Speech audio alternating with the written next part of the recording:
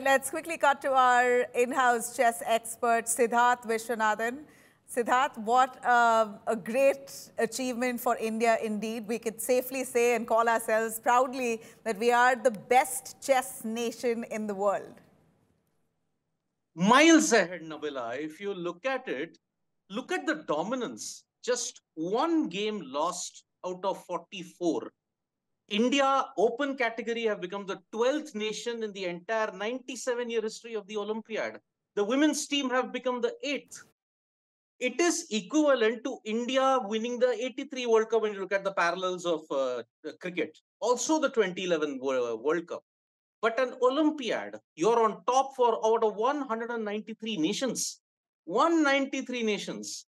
That itself should give you immense pride. And I cannot tell you like ever since the start of the tournament, I got the candidates vibe. Because somewhere down the line, this golden generation, mentored by Viswanathan Anand, were destined to do something special. And you could just feel it.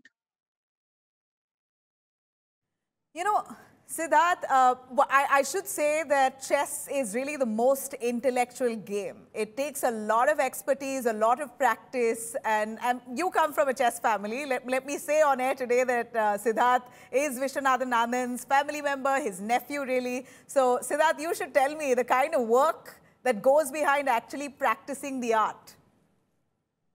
I mean, it involves a lot of toil, Nabila. Let me just make it very, very clear. It's not as if you're smart, you just come on the chessboard, you move the pieces, and you get and you get victory. No. There are thousands and thousands of permutations and combinations that you have to think. What is this guy going to do? What is this guy going to think next? If you make a move, you're thinking three times ahead. Okay, this is what he will be at that position. Now, I'll give you a classic case of intellectual we have to now call him the Thala of chess for one simple reason because Gukesh seems to have an affinity to number seven.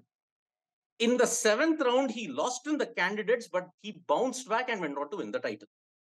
Round seven of the Olympiad, he played one of the greatest end games that will be debated upon for generations. How do you win with just two knights and an F pawn that itself shows the years and years and years of hard work that has been put on. Praggnanandhaa, Gukesh, Vidit Gujrathi, and Arjun Erigaisi have all achieved this because they started it very young. They got the backing. Chess is a very expensive sport. Let us be very clear about it. They got the backing, and now they are showing what they can truly do on the world stage. And they will be surrounded by technology. They'll be surrounded by a lot of yeah. other things but they have shown now that intellect backed with yeah. a solid backing from behind, either from sponsors or family, has given them what we could not have even imagined a decade ago. Yeah. Double Olympic gold. I'll call it an Olympic gold.